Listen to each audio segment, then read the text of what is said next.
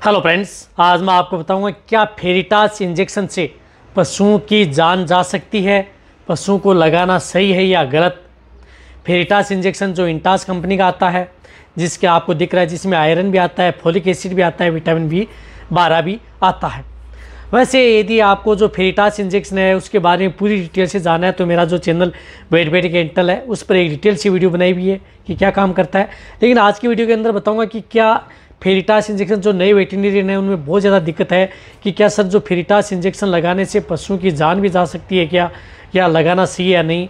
पूरी आपको शॉर्ट में बता दिया जाएगा क्या हो सकता है। जो इस चैनल पर अभी नए आए या पहली बार आप इस चैनल से जुड़े हैं तो पहले आप इस चैनल को सब्सक्राइब कर लें, साथ में बेल आइकन और आल वाला ऑप्शन दबाएँ, क्योंकि इस चैनल पर पता है कि आपको सही और सटीक जानकारी के साथ वीडियो दी जाती है। सबसे पहले बताना चाहता हूँ कि यदि जो आयरन का इंजेक्शन आता है, जिसे हम फेरिटास इंजेक्शन बोलते हैं, वह इंजेक्शन यदि पशुओं में यदि जैसे आयरन की डिफिशेंसी है, पशुओं के शरीर में ब्लड की मात्रा कम हो गई है तो उस स्थिति में इस इंजेक्शन का प्रयोग किया जाता है। आपको लग रहा है कि सही डायग्नोसिस आपने कर लिया है कि पशुओं में कई इस तरह के रोग होते हैं जिसमें पशुओं के शरीर में ब्लड की कमी आ जाती है, जैसे प्रोटोजोआ जनित रोग हो गए, वह होने के बाद में पशु में ब्लड की कमी आ जाती है। इसी के साथ साथ यदि पशु मिट्टी, खाना प्लास्टिक चमड़ा इत्यादि यदि पशु खा रहा है, बहुत ज़्यादा मात्रा में खा रहा है तो उस स्थिति में भी पशुओं में ब्लड आयरन की डिफिशेंसी हो जाती है। तो आपको कन्फर्म पता होना चाहिए कि पशुओं के शरीर में आयरन की डिफिशेंसी हो गई है। यदि उस स्थिति में यदि प्रयोग करते हैं तो फिर जो आयरन का इंजेक्शन है, वह इतना साइड इफ़ेक्ट नहीं करता है। बट यदि जिसमें यदि आपने सही डायग्नोसिस नहीं किया है, और यदि पशु में आयरन की डिफिशेंसी नहीं है, उस स्थिति में यदि आप उस पशु को यदि फेरिटास इंजेक्शन या आयरन के इंजेक्शन यदि लगा देते हैं तो पशुओं में साइड इफ़ेक्ट ज़रूर करते हैं। साइड इफ़ेक्ट में क्या करते हैं? कई बार तो पशुओं की जान जा सकती है।